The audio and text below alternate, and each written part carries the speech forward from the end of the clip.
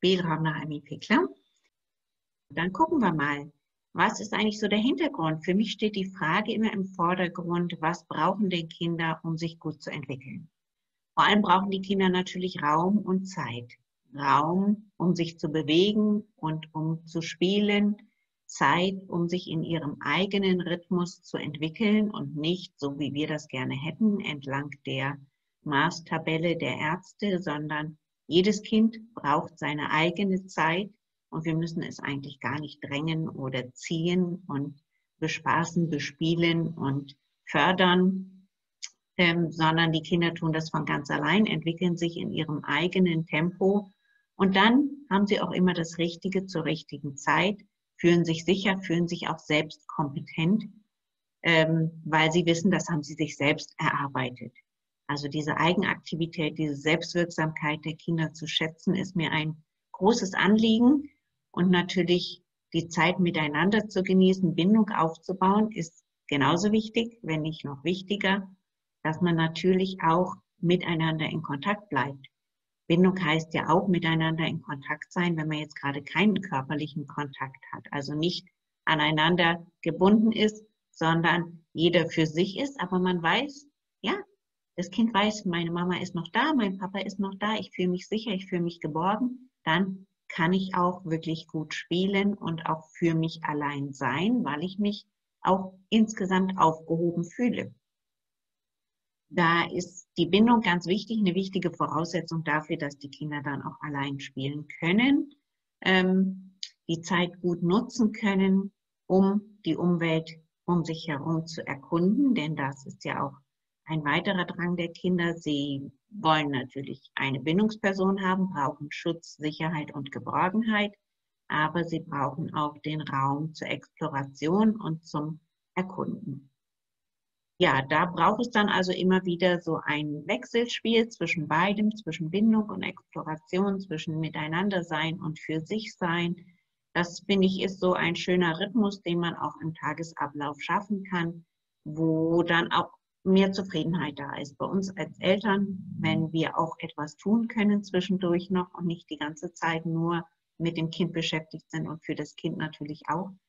Wenn es dann auch mal ausatmen kann, ein bisschen ähm, für sich sein kann, die Ruhe und sich selbst erkunden kann, da erfahren die Kinder ja eben auch sich selbst mal als unabhängig von Mama oder Papa. Ja, die generelle Frage ist, wie finden wir eine gute Balance zwischen den Bedürfnissen aller in der Familie? Natürlich, wenn das Kind ganz klein ist, dann stehen die Bedürfnisse ähm, des kleinen Kindes natürlich im Vordergrund, dann ist das ganz wichtig. Was braucht denn das Kind, wenn es weint, auch sofort prompt da zu sein und sofort zu reagieren? Wenn die Kinder ein bisschen älter sind, anfangen ähm, sich fortzubewegen, dann reicht es auch, wenn man verbal reagiert und sagt, ja, ich habe gehört, du rufst mich, ich komme gleich. Also dann muss man noch nicht sofort dann wieder da sein, sondern da können die Kinder dann auch schon ein bisschen abwarten, wenn jetzt nichts Schlimmes passiert ist natürlich. Ja, das sind so die Grundprinzipien der Pädagogik von Emmy Pickler, die freie Bewegungsentwicklung, das freie Spiel, das teilt Emmy Pickler ja auch mit der Waldorfpädagogik, die ja ganz viel Wert darauf legen, dass die Kinder sehr viel Zeit haben zum Freispiel, zur Ausbildung der Fantasie, dass die Fantasie ein ganz wesentlicher Faktor ist, dafür auch Neues zu entwickeln, neue Ideen zu haben, etwas im Leben weiterzubringen, auch in schwierigen Situationen mit eigenen Gedanken, mit Kreativität, mit Fantasie, sich da wieder was Neues ähm, zu erarbeiten, neue Ideen zu haben und nicht ähm, im Hier und Jetzt in, in, in der Sackgasse stecken zu bleiben. Dann eben die beziehungsvolle Pflege. Das wird auch heute in sämtlichen Krippen eigentlich übernommen, weil man davon ausgeht, dass es unglaublich wichtig ist, dass die Kinder Momente haben der ungeteilten Aufmerksamkeit, wo die Eltern ganz ähm, mit den Kindern zusammen sind oder in, in der Krippe die Pflegerinnen, die Erzieherinnen, dass man da Momente hat, wo man sich ganz dem Kind widmet, wo man wirklich mit ähm, allen Sinnen und allen Gedanken, allen Gefühlen in diesem Moment mit dem Kind zusammen ist. Und nicht in Gedanken beim Einkauf, beim Telefonat mit der Freundin oder sonstigen Dingen, sondern dass man wirklich präsent ist. Dass die Kinder dann auch spüren, ja, jetzt sind wir zusammen, jetzt haben wir eine schöne Zeit miteinander und diese Zeit dann auch so genießen können und da so viel draus ähm, ziehen können, dass sie danach auch gesättigt sind an Kontakt und dann alleine für sich auch spielen können. Also nur dann, wenn sie gesättigt sind an Kontakt, an Bindung, an, an Kommunikation, an Nähe, Fürsorglichkeit, an Geborgenheit, wenn sie das alles empfinden, dann können sie auch für sich gut auf dem Boden spielen und zufrieden sein. Also die ganz kleinen 0 bis 3 Monate sind natürlich erstmal im Arm oder liegen ähm, auf dem Schoß oder direkt neben den Erwachsenen, aber ab drei Monate, wenn sie dann anfangen zu spielen, dann könnte man sie auch auf die Spieldecke legen. Und wenn sie dann gesättigt sind an Kontakt, dann können sie auch für sich gut allein spielen. Dass man immer guckt, was ist eine altersgemäß gestaltete Umgebung?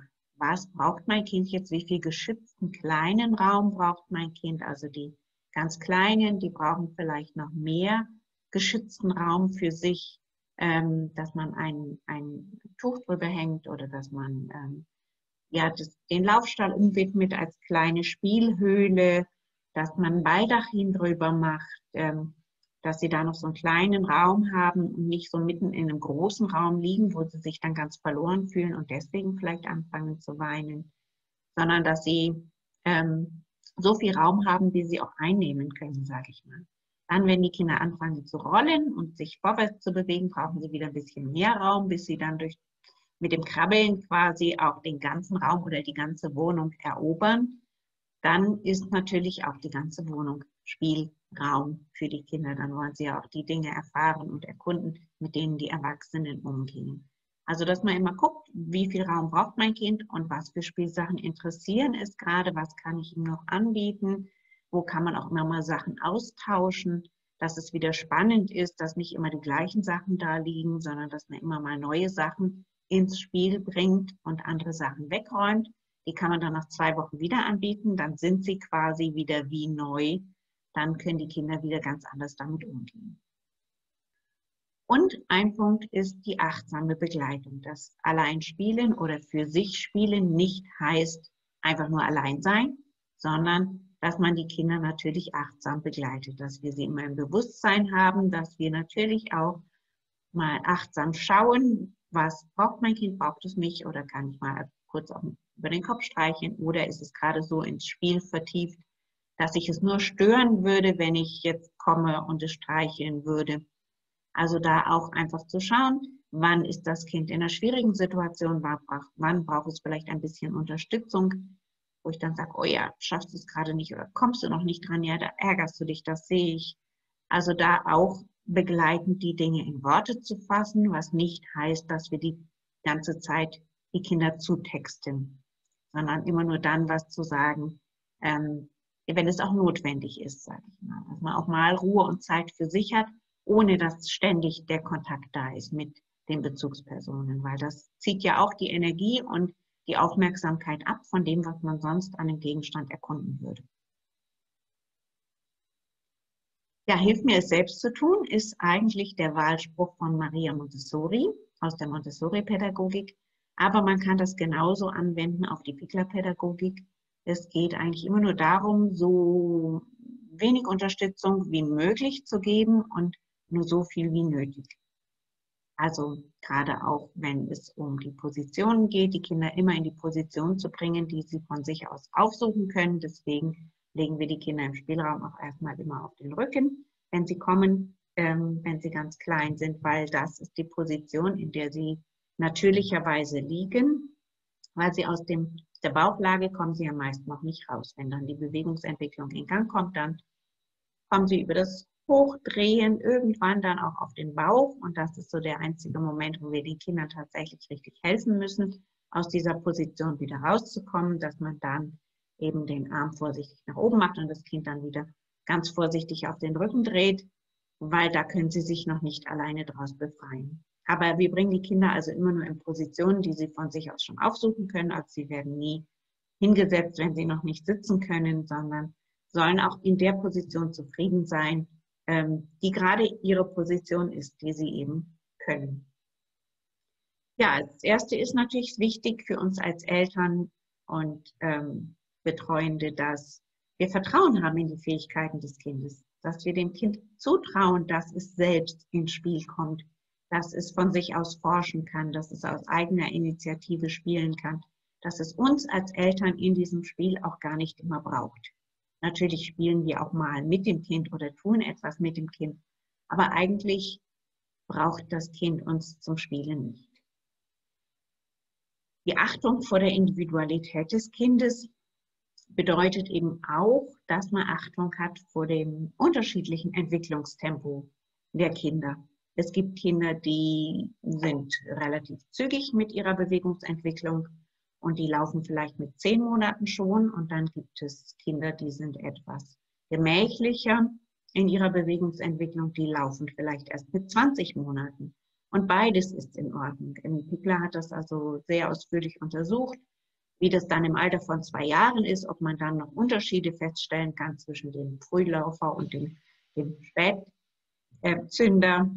Und hat dann festgestellt, also im Alter von zwei Jahren gibt es keine nennenswerte Unterschiede mehr in der, in der Sicherheit der Bewegung und in der Bewegungsfähigkeit.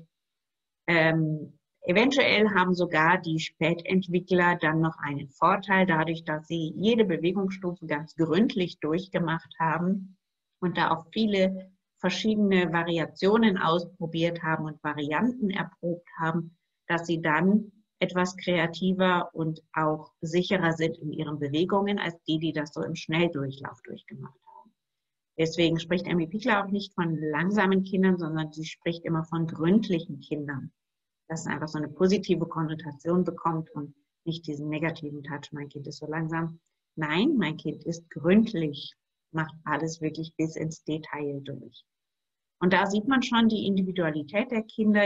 Jedes Kind ist ganz anders, auch auf seinem Weg in der Bewegungsentwicklung. Die einen ähm, rollen nur kurz und kommen dann gleich ins Kriechen oder Krabbeln. Die anderen bleiben ganz lange im Rollen drin, bis sie ein Jahr sind und dann kommt ganz schnell das Kriechen und dann kommt schon das Krabbeln. Also da hat jedes Kind auch so seinen eigenen Weg. Da kann man auch beim Spielen schon beobachten, wie individuell die Kinder die Gegenstände erkunden und wie unterschiedlich sie an die Sachen oder auch an Schwierigkeiten herangehen. Also da immer wieder auch zu gucken, was zeigt sich denn da auch schon ganz individuelles an meinem Kind. Ja, den Kindern ungestört Zeit lassen zum Spielen und zur Bewegung. Das werden wir im Spielraum dann haben. Es gibt immer eine Begrüßungsrunde am Anfang. Normal sitzen wir dann im Kreis zusammen. Jetzt in Corona-Zeiten sitzen wir dann, sitzen alle schon außenrum auf ihren Plätzen. Und dann spiele ich eine kleine Melodie und begrüße die Kinder. Und danach haben die Kinder Zeit zum Spielen und zum Erkunden. Und wir sitzen außenrum und nehmen die Kinder achtsam wahr. Also nicht so ein Beobachten wie im Zoo, sondern ein achtsames Wahrnehmen der Kinder im Spiel und in der Bewegung und Ruhe vor allem. Es soll Ruhe da sein, dass die Erwachsenen sich nicht unterhalten, eine ruhige, konzentrierte Atmosphäre, die auch die Kinder spüren. Und die Kinder spielen dann in dieser konzentrierten Ruhe ganz anders, als wenn Gespräch wäre. Das mag für viele erstmal ungewohnt sein, eine Stunde in Ruhe zu verbringen, aber ähm, ja, probiert es einfach mal aus, wie es euch damit geht. In die Bewegungsentwicklung wird nicht eingegriffen im Spielraum. Das heißt, die Kinder kommen in die Position, die sie von sich aus aufsuchen können. Sie werden nicht zu irgendwas gezwungen oder gebracht oder gelockt oder geschoben oder irgendwo hochgesetzt, sondern sie sollen sich das selbst erarbeiten. Die Rolle als Eltern, eure Rolle als Eltern ist dabei, als sicherer Hafen dabei zu sein, als Begleiter natürlich. Wenn die Kinder weinen, seid ihr natürlich da, um die Kinder zu trösten. Wenn ein Kind in Schwierigkeiten ist, dann gehe ich erstmal hin und äh, begleite das Kind in den Schwierigkeiten. Oder wenn Kinder miteinander in Kontakt kommen und man nicht sicher ist, ob das jetzt so sanft passiert, wie wir uns das wünschen, dann gehe ich auch in die Nähe und schaue, dass es auf eine gute Art und Weise passiert.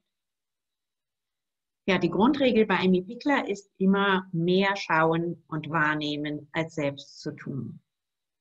In dem Wahrnehmen liegt eben auch die Qualität, dass wir ein bisschen abspüren können, was braucht denn das Kind auch, was zeigt es uns denn, was es gerade lernt, was es vielleicht noch für Spielsachen brauchen könnte, wo es zufrieden ist und ähm, einfach auch von seiner Persönlichkeit her wahrgenommen werden kann. Das Spiel ist natürlich was ganz Wichtiges. Das Spiel ist ein inneres Bedürfnis der Kinder. Genauso wichtig wie das Bedürfnis nach Bindung und Nähe. Die Kinder spielen, wenn es ihnen gut geht. Also wenn sie sich sicher und geborgen fühlen, ähm, vor allem wenn die Eltern auch in der Nähe sind. Also allein spielen heißt nicht unbedingt zu Hause dann allein in seinem Zimmer spielen, sondern immer da, wo auch die Erwachsenen sich aufhalten, dass da ein Spielbereich ist, in dem die Kinder spielen können, sich bewegen können und für sich sein können, ohne allein zu sein. Das Spiel ist die Arbeit der Kinder, die Welt eben, in der es lebt, kennenzulernen und verstehen zu lernen. Deswegen ist so diese Verbindung zwischen Greifen und Begreifen ja auch da, entdecken und verstehen, ausprobieren und experimentieren und lernen. Also da ist das Kinderspiel nicht etwas, was man auf die leichte Schulter nehmen kann, sondern es ist die Arbeit der Kinder, sich die Welt anzueignen, in der sie leben. Das alles mit allen Eigenschaften kennenzulernen. Wenn die Kinder allein spielen können, dann wechseln sie auch zwischen Aktivität und Ruhe. Also ruhen sich auch mal aus, wenn sie gerade was zu verarbeiten haben, wenn sie aktiv waren und dann den Gegenstand vielleicht einfach fallen lassen, einfach nur in der Gegend umherschauen, ähm, vielleicht seufzen oder den Kopf ablegen, wenn sie auf dem Bauch liegen. Und das ist auch wichtig, dass sie das dürfen, dass wir dann nicht sofort einschreiten und denken, ach, wir müssten unserem Kind jetzt wieder was Neues anbieten. Das machen wir im Spielraum nicht. Also wir werden nicht mit der Rasse vor dem Kind vor dem Gesicht wedeln, sondern wenn, dann werden einzelne Gegenstände einfach um das Kind wieder herumgelegt. Man kann ihm was Neues anbieten. Ob es das dann nehmen möchte oder nicht, das bleibt dann dem Kind überlassen. Also dem Kind auch Pausen zuzugestehen, finde ich ganz wichtig. Wir sind als Erwachsene ja oft schon so hektisch, dass wir uns keine Pause gönnen und oft übertragen wir das dann auch auf die Kinder. Also da darf wieder selbst zur Ruhe zu kommen sich selbst Pausen zu gönnen, wie die Stunde im Spielraum und den Kindern dann auch einfach bei den Pausen und beim Ausruhen zuschauen zu können.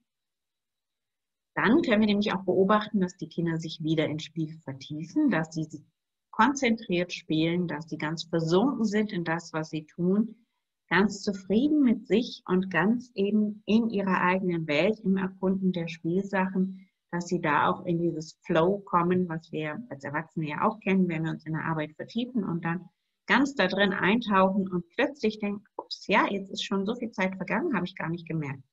Also das ist eigentlich der optimale Zustand, in den die Kinder dann auch kommen, wenn sie sich ganz mit dem verbinden, was sie da gerade erkunden und ähm, mit dem sie da hantieren. Das Spiel ist immer auch ein selbstgesteuerter Lernprozess, wo die Kinder auch ihrem eigenen Reifungsprozess folgen also immer das, was so ihrem momentanen Lerninteresse entspricht, werden sie sich auch suchen. Und wenn die Kinder dann ähm, die Sachen schnell wieder weglegen und nur kurz noch untersuchen, dann weiß man, okay, vielleicht könnte jetzt etwas Neues kommen, vielleicht brauchen sie jetzt mehr Kisten, wo die Dinge ein- und aussortiert werden können.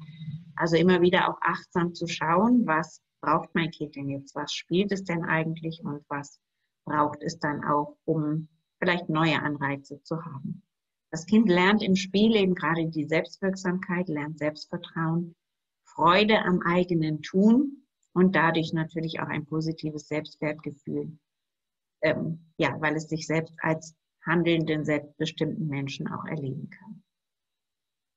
Was die Kinder im Spielraum auch noch lernen oder was wichtig ist, die Achtung vor sich selbst, die sie erleben durch uns als Eltern, wenn wir ihnen mit Achtung begegnen und mit Achtung vor ihrer Tätigkeit im Spiel begegnen, aber auch die Achtung natürlich vor den anderen Kindern, dass man denen nicht einfach was aus der Hand reißt. Also bei den ganz Kleinen wechselt der Spielgegenstand nochmal von einer Hand zur anderen. Da ist es auch nicht schlimm. Die, das ist so, als würde der Gegenstand wegrollen.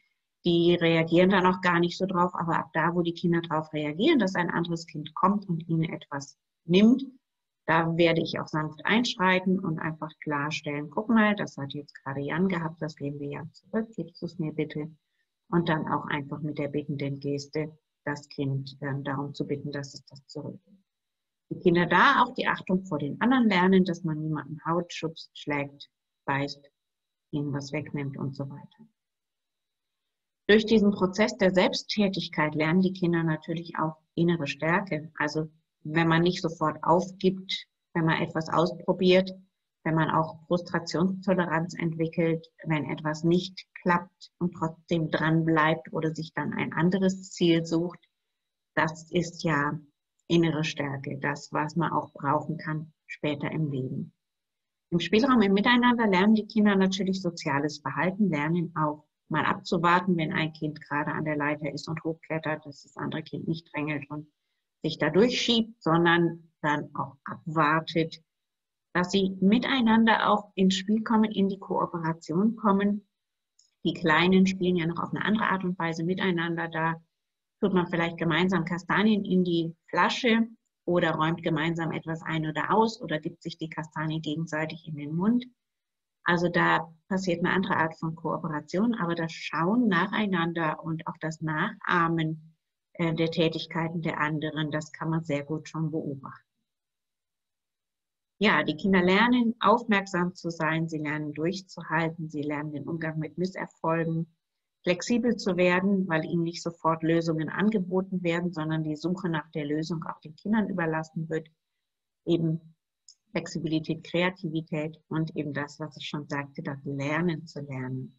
Die Fähigkeit zum Experimentieren, das Spiel und die Erfahrungen darin bilden ja auch Gehirnstrukturen. Das sind so die grundlegenden Dinge, die die Kinder in den ersten drei Jahren lernen. Erlebe ich mich als selbstwirksam in der Welt oder erlebe ich mich als passives Wesen, das immer bespielt wird von außen oder als hilfsbedürftiges Wesen, das immer gerettet werden muss. Also das sind so Grundmuster, die sich dann auch in den ersten drei Jahren ausprägen. Und wenn man sagt, die Kinder lernen so viel in den ersten drei Jahren, dann ist es vor allem das, was sie lernen, eben dieses Experimentieren, Ausprobieren, sich selbst in die Welt zu stellen und die Position in der Welt zu klären und nicht Chinesisch für Babys oder ach, alles Mögliche, was es da schon gibt für kleine Kinder. Ja, jetzt habe ich einfach mal so ein paar Bilder, wie der Spielraum denn überhaupt aussieht, da wir uns ja jetzt noch nicht im Spielraum treffen können, dass ihr mal einen kleinen Eindruck kriegt. Hier also für die Kleinen, so sieht das dann aus, der Spielbereich für die drei bis sechs Monate alten Kinder. Wir sitzen dann außen rum auf den Kissen, die ihr da seht, und die Kleinen liegen dann auf den ähm, Yogamatten und können dann anfangen, um sich zu greifen und um sich zu spielen. Also auch nicht die Dinge über die Kinder zu hängen. Also die sogenannten Babytrainer sind in meinen Augen keine wirklichen Trainer, weil sie den Kindern eine falsche Welt suggerieren. Also sie suggerieren ja, dass etwas von oben kommt und wenn ich das ziehe, meistens hängt es ja noch Gummibändern, dann können die Kinder es runterziehen. Wenn ich es loslasse, dann fluppt es nach oben. Aber wie ist es in unserer Welt, wenn ich etwas loslasse, dann fällt es nach unten. Dann fällt es eben auf das Kind drauf. Deswegen haben wir am Anfang eher so leichte Gegenstände wie Baumwolltücher, die Picklerbälle, die Pedikurbälle oder die Stoffbälle, die ganz leicht sind, wo es nicht schlimm ist, wenn das auch mal auf das Kind drauf fällt. Aber dann haben sie eine reale Erfahrung von, ja, die Fallgesetze, physikalische Gesetze, die sie dadurch dann auch lernen und erfahren. Und sie lernen eben auch, um sich herum zu greifen und den Kopf zu bewegen in dieser Suchbewegung ähm, relativ schnell, wenn sie gucken wollen, ob da was ist, dass dadurch natürlich auch die Nackenmuskeln trainiert werden. Das, was man dann braucht in der Bauchlage, wenn man den Kopf hochhalten muss, das ist das, was man auch ähm, übt im Suchen nach den Spielsachen, wenn sie um das Kind herum gelegt werden. Wenn die Spielsachen einfach nur über dem Kind hängen, dann schaut das Kind geradezu nach oben und muss den Kopf gar nicht seitwärts bewegen. Also da ist es uns auch ganz wichtig, dass die Kinder dann die Hals- und Nackenmuskeln trainieren. Ja, hier so ein kleiner Beitrag mal, um zu sehen, wie es aussieht.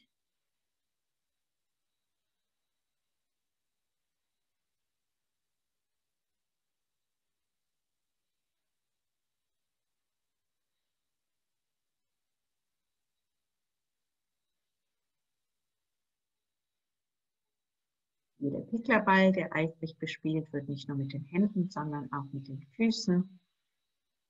Da ist der Spielraum dann für sechs bis neun Monate alte Kinder, die rollen. Einige sind schon ein bisschen am Kriechen.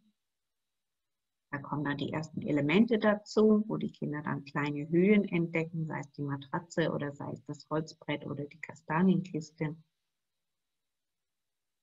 tiefe Ebene kommt dann dazu, wo die Kinder sich ähm, hochrobben können oder auch natürlich hochkrabbeln können und kleine Stufen erleben, von oben nach unten und von unten nach oben.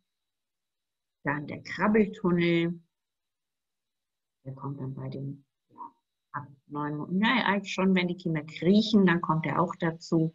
Aber natürlich ständig im Alter von neun bis zwölf Monaten ist der dabei. Dann sieht das eben so aus. Dann kommt die kleine Treppe mit der Rutsche dazu und die Krabbeltunnel verschiedener Art. Da hinten links sieht man dann die kleine Treppe, die man umgedreht auch als Schaukel benutzen kann, wo die Kinder dann die Stufenerfahrungen machen können, Stufen raufgehen, Stufen runtergehen. Das kleine Dreieck noch dazu mit der Rutsche und die Polster. Dann kann man auch ähm, verschiedene Rutschen an die Krabbeltunnel machen. Hier der Kletterbogen noch dazu.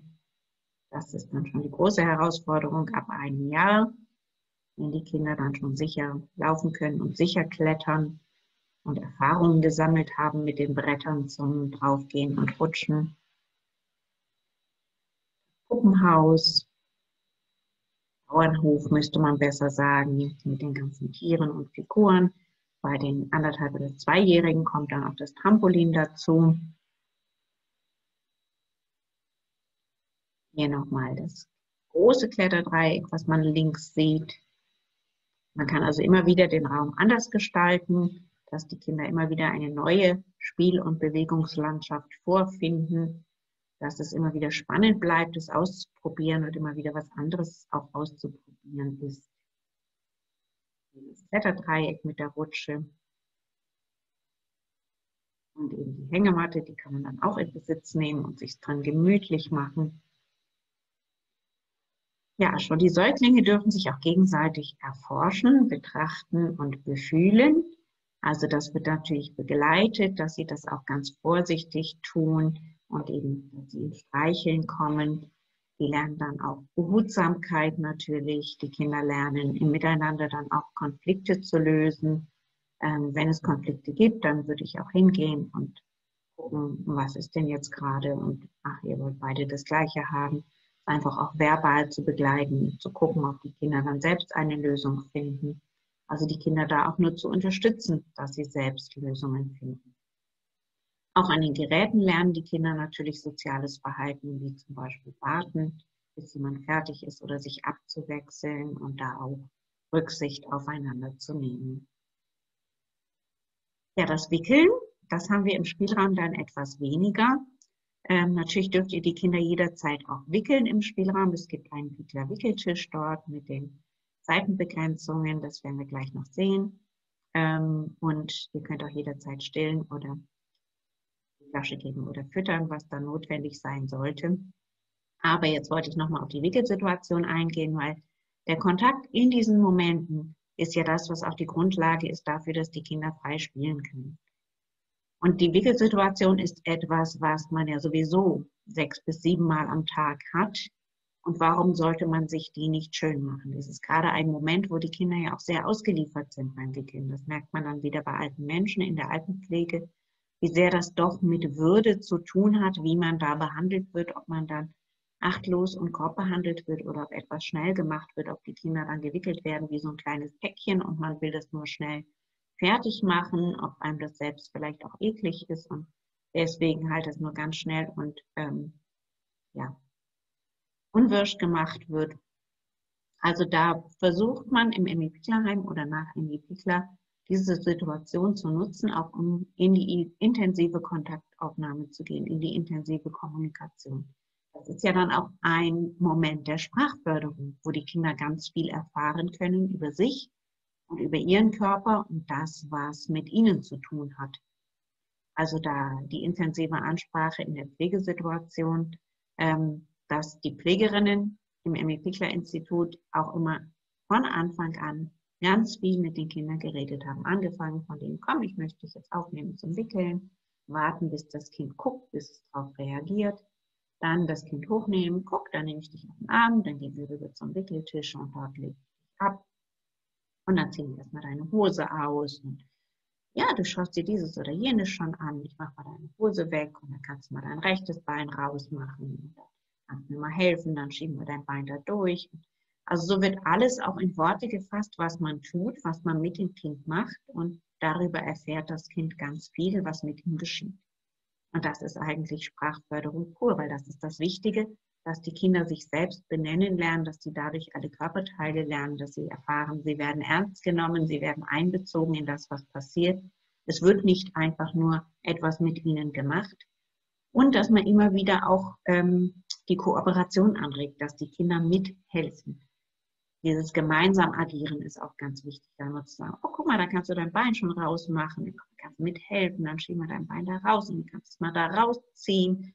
Oder jetzt kannst du deinen Arm mal rausmachen oder hilfst du mit, die Beine hochmachen, dass ich dir eine neue Windel dran machen kann, dass die Kinder da auch ganz schnell dann lernen, was von ihnen erwartet wird und dann auch mitmachen können, dass es etwas Gemeinsames ist, dass es eine Kooperation wird und nicht ein Gegeneinander arbeiten oder ein, ich will das so schnell wie möglich fertig haben und dann kommt das wahre Leben, nämlich das Spielen wieder zusammen. Nein, das wahre Leben findet dann am Wickeltisch statt. Dort ist der wichtige Ort der Beziehungsaufnahme und der Kooperation, der Sprachförderung, des Miteinanderseins. Also das kann ein, ein sehr schöner Moment auch miteinander sein dass man auch das Wickeln positiv assoziiert, also dann ähm, positive Formulierungen hat, dann zu sagen, ähm, jetzt machen wir dich sauber, dann fühlst du dich gleich viel wohler. Und nicht zu sagen, i, jetzt machen wir die stink stinkige Windel weg oder ach, was hast du wieder für einen dreckigen Stinker da drin? Das sind alles so, dann fühlt sich das Kind ja auch schmutzig oder dreckig und es ist einfach nichts, ähm, nichts, was mit positiven Assoziationen verbunden ist. Also da auch immer wieder positiv drüber zu sprechen. Ja, dann ähm, bist du wieder schön sauber, dann fühlst du dich wieder wohler, dann ähm, kannst du gleich wieder schön spielen. Also dieses ähm, Positive auch immer in den Vordergrund zu stellen beim Wickeln. Ja, jetzt habe ich auch einen kleinen Film über eine Wickelsituation. Es ist eine